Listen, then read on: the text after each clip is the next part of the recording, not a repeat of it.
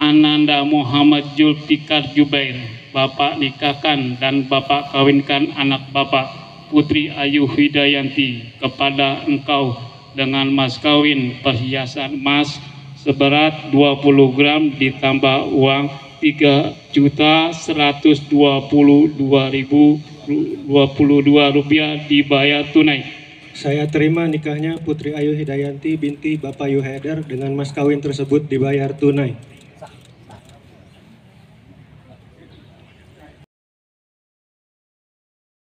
Thank you.